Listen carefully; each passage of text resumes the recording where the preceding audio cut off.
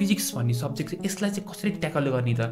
Eleven र टुवेल्भमा दुवैमा राम्रो जिपी ल्याउनु छ एन्ड प्लस तपाईँको जस्तै अब इन्ट्रान्स एक्जाम राम्रो गर्नु छ भनेदेखि। अब नोट्स लेखाउनु नराम्रो कुरा नै कम्प्लिट हो भने त भन्दिनँ तर टाइम बढी जाँदो रहेछ क्या नोट्स। नोट्स भनेपछि फिजिक्स पढ्ने बेला हामीले आफ्नो जुन पढेको ज्ञान छ नि त्यसलाई रियल वर्ल्डसँग चाहिँ इन्टर कनेक्ट गर्नु पर्यो। इलेभेन टुवेल्भमा मैले कम्प्लिट बुक नै पढायो। ओके। बुकै पढेँ टोटल बुकै पढेँ। मैले नोट्स त्यति धेरै पढ्थेन। गाइड एकछिनमा प्ले हुन गइरहेको भिडियो चाहिँ हाम्रो लामो पोडकास्ट सेसनको एउटा सानो छोटो क्लिप मात्र हो। फुल सेसन हेर्नको लागि अहिले नै च्यानललाई सब्सक्राइब गरेर पोडकास्ट प्लेलिस्टमा गएर अहिले नै हेर्नु होला। एससीमा जो जो स्टुडेन्टहरू पास आउट भएका थिए नि उनीहरू अहिले क्लास इलेभेनमा जोइन भएका छन् होइन। एन्ड सबैभन्दा उनीहरूलाई टफेस्ट लाग्ने होइन उनीहरूलाई मात्र होइन कि मलाई पनि इभन क्लास इलेभेनमा पढिराख्दाखेरि जोइन भइराख्दाखेरि साइन्समा साइन्स हिस्ट्रीमा फिजिक्स भन्ने जुन सब्जेक्ट छ हामीहरूको होइन यसले चाहिँ बहुत सताउँथ्यो कि। है? मेरो ओभरअली म्याथमेटिक्स एकदमै मलाई इजी लाग्थ्यो। मेरो म्याथमेटिक्स एकदमै स्ट्रङ थियो है। त्यसपछि केमिस्ट्रीहरू पनि यस इलेभेनको त अलिकति ए, गजाङ गजुङ भएको थियो बट टुवेल्भको जुन अर्ग्यानिक छ नि त्यो चाहिँ कन्सेप्चुली बुझिसकेपछि मलाई एकदमै इजी रहेको थियो।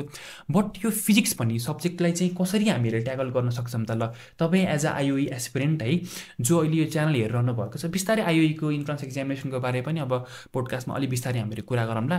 बट जुन मेन यो फिजिक्स भन्ने सब्जेक्ट छ यसलाई चाहिँ कसरी ट्याकल गर्ने त इलेभेन र टुवेल्भमा दुवैमा राम्रो जिपी ल्याउनु छ एन्ड प्लस तपाईँको जस्तै अब इन्ट्रान्स एक्जाम राम्रो गर्नु छ भनेदेखि।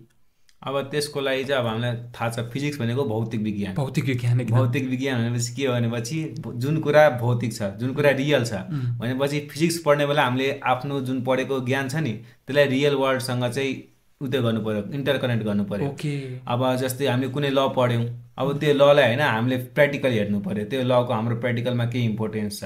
अब अलिअलि सोसियल मिडियामा र युट्युबमा हामीले अलिअलि सर्ट्स पनि हेर्दाखेरि के पाइन्छ भनेपछि फिजिक्सवालाको आजकल धेरै चर्चा भएको छ। इन्डियन युट्युबर है। Indian YouTuber. उहाँ चाहिँ। अब उहाँ चाहिँ किन फेमस हुनु भयो? त्यो कुरा हामीले बुझ्नु पऱ्यो क्या। किनकि उहाँले पढाउनु मात्र भएन क्या। सिकाउनु भयो। कसरी जुन हामीले फिजिक्सको कुरा सिक्छौँ नि रियल वर्ल्ड लाइफमा कसरी काम। गर्छ भनेर। भनेपछि फिजिक्स भनेपछि जबसम्म हामी त्यसलाई रियल वर्ल्डमा जोड्दैनौँ नि तबसम्म हामीलाई सोसल पढ जस्तो लाग्छ हिस्ट्री पढ जस्तो लाग्छ क्या। तर जुन बेला हामी त्यसलाई रियल लाइफमा त्यो इन्टर कनेक्ट गर्छौँ धेरै सजिलो लाग्छ। लाग्छ कि हामीले म्याथ पढे जस्तो हुन्छ कि जस्तै म्याथ कन्सेप्टली पढिन्छ नि त्यसरी नै बुझिन्छ क्या। अब त्यसलाई याद याद गर्नुभन्दा पनि मेमोराइज जस्तै न्युटन्स फर्स्ट ल छ सेकेन्ड ल छ थर्ड ल छ त्यसले भन्नेको कुरा पहिला बुझ्नु पर्यो। अनि त्यो अनुसार रिलेट गर्नु पर्यो कुन कुन कुरामा चाहिँ यो लले काम गरिरहेछ। होइन? कसरी काम गरिरहेछ? यसले भन्न खोजेको कुरा के हो? अनि त्यति हामीले बुझेपछि चाहिँ धेरै सजिलो हुँदो रहेछ। त्यही त म पनि अहिले आएर हेर्छु होइन? मैले के एउटा कुरा रियलाइज गरेँ भनेदेखि जस्तो हामीले टोटल अब एजुकेसन सिस्टमलाई ब्लेम गर्ने कि कसलाई ब्लेम गर्ने आई डोन्ट नो है?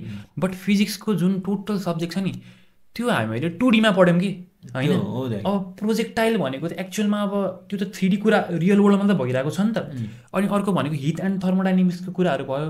त्यसपछि स्पेसली यो काइनेटिक्सको जुन जतिसुकै पोर्सन छ नि त्यो पनि अब जस्तो सर्कुलर मोसन मलाई एकदमै गाह्रो लाग्थ्यो। त्यो पनि त थ्री डीमै भइरहेको छ नि त रियल सो थ्री डीको कुरा टु डीमा हामीहरूले पढिरहेको छौँ अनि टु डीको कुराहरूलाई घोकेर एक्जामिनेसन राम्रो दिइसके दिइरहेका छौँ भन्दै कन्सेप्चुअली त यो त हुँदै भएन नि होइन अनि पछि तपाईँको आइओई आइओएमको इन्ट्रान्स एक्जामिनेसनमा सोध्ने भनेको चाहिँ फेरि टोटल थ्री डी रिलेटेड क्वेसनहरू हुन्छ। थ्री डी अथवा चाहिँ कन्सेप्चुअल क्वेसनहरू हुन्छ।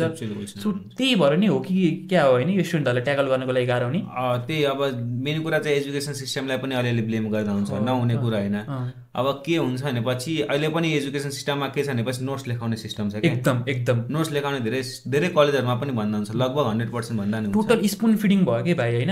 ए टु जेड लेखाइदिएर स्टुडेन्टहरूलाई उनीहरूले त केही मेहनतै नगरोस् भन्ने हिसाबमा अब यस्तो फेरि कलेजहरूलाई पनि छ नि त अब आफ्नो नाम माथि ल्याउनु पर्ने छ कलेजहरूलाई पनि सो अब नोटहरू लेखाइदियो भने त एटलिस्ट केही केही स्टुडेन्टहरूले भए पनि बोर्ड एक्जामिनेसन राम्रो गर्छन् कलेजबाट धेरैले फोर जिपे ल्याउने भन्ने होस् भनेर त्यो कलेजको आफ्नो स्वार्थले पनि हो।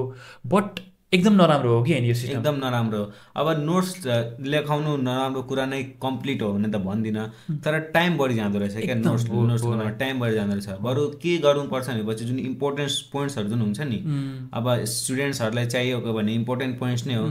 अबको युग भनेपछि कम्प्युटरको युग आइसक्यो। अब मान्छेहरूले कुनै पनि फाइल जसलाई पनि सेयर गर्न मिल्छ भने त्यसको त्यो टाइमलाई हामीले यदि कुनै पनि आफ्नो या जस्तै गुगल क्लासरुम छ। या माइक्रोसफ्ट टिम्स छ ती एपहरूमा नोट्सहरू प्रोभाइड गरिदिने र स्टुडेन्ट त्यसलाई बुझ्ने अनि पछि चाहिँ मैले चाहिँ के गरेको थिएँ भनेपछि इलेभेन टुवेल्भ म नोट्सलाई ब्लेम गर्ने इलेभेन टुवेल्भमा मैले कम्प्लिट बुक नै पढायो। ओके। बुकै पढ्यो टोटल बुकै पढ्यो मैले नोट्स त्यति धेरै पढ्थेन। सबै सब्जेक्टको सबै सब्जेक्टको। अनि नोट्स चाहिँ मलाई अलिक के लाग्थ्यो भनेपछि नोट्समा अलिअलि मात्र पार्सल इन्फर्मेसन मात्र हुन्छ क्या। तर जुन बेला हामी बुक पढ्छौँ नि बुक पढेपछि कम्प्लिट इन्फर्मेसन हुँदो रहेछ। कुनै पनि कन्फ्युजन आएपछि बुकको यदि हामीले word to word line to line पढ्यो भनेपछि एउटा लाइनमा भएको कन्फ्युजन अर्को लाइनमा ठ्याक्क क्लियर भइहाल्दो रहेछ क्या। तर नोट्समा हामीले एउटा पढेको लाइनको कन्फ्युजन अब ठ्याक्क त्यसरी म्यानेज गरेको त हुँदैन। अनि त्यही भएर बुक पढ्दाखेरि चाहिँ म बेस्ट मान्छु। अब नोट्स पनि राम्रै कुरा हो। अलि सर्ट टाइमको लागि त नोट्स पनि चाहिन्छ। अब एउटा बुक त एक रिभिजन लागि गर्नको लागि त नोट्स सबैभन्दा बेस्ट मेटेरियल हो। तर पछि चाहिँ सुरु स्टडी सुरु गर्ने बेला चाहिँ हामीले पहिला बुक नै प्रिफर गर्नुपर्छ। बुकलाई प्रिफर गर्ने त्यसपछि बुकलाई चाहिँ मेन रिफरेन्स अब जस्तो होइन कलेजमा अब इनकेस होइन ल अडियन्सहरूसँग कुरा गरौँ। इनकेस तपाईँहरूले चाहिँ कलेजमा टिचर्सहरूले नोट ल्याइदिइरहनु भएको छ भनेदेखि एटलिस्ट त्यो कतिपय सिचुएसन कस्तो हुन्छ भाइ? म तपाईँलाई भनौँ टिचरले लेखाएको कुरा पनि रङ हुन्छ हो कि नोटमा। अथवा टि टिचरले डिक्टेट गरेर राख्दाखेरि आफूले लेखेको मात्रै रङ हुनसक्छ। सो इनकेस त्यही रङ क्वेसन रङ कन्सेप्ट नै पढियो भनेदेखि त टोटल हामीहरूको बिग्रिने भयो नि त। होइन? जुन अब सब्जेक्ट म्याटरलाई हामीले बुझ्न ट्राई गरेर आएको छौँ।